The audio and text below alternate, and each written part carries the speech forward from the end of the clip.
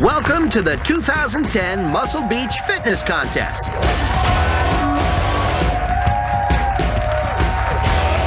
Next up in the senior division, Paul.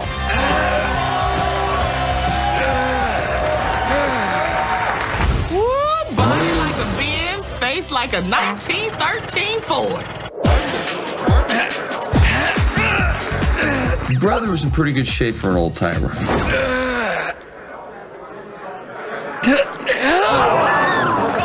Listen to the crowd. I still got it. Papa's got a brand new bag. Excuse me, will somebody please tell Grandpa his beach ball is showing? There goes one steroid myth. Maybe it was a f- tumor. Maybe he has a goiter down there. It looked like a baby's head. Stiff as a board, light as a feather. Stiff as a board. That is really hard to do when you have 20 pound balls. Okay, Zidane. Thanking Paul.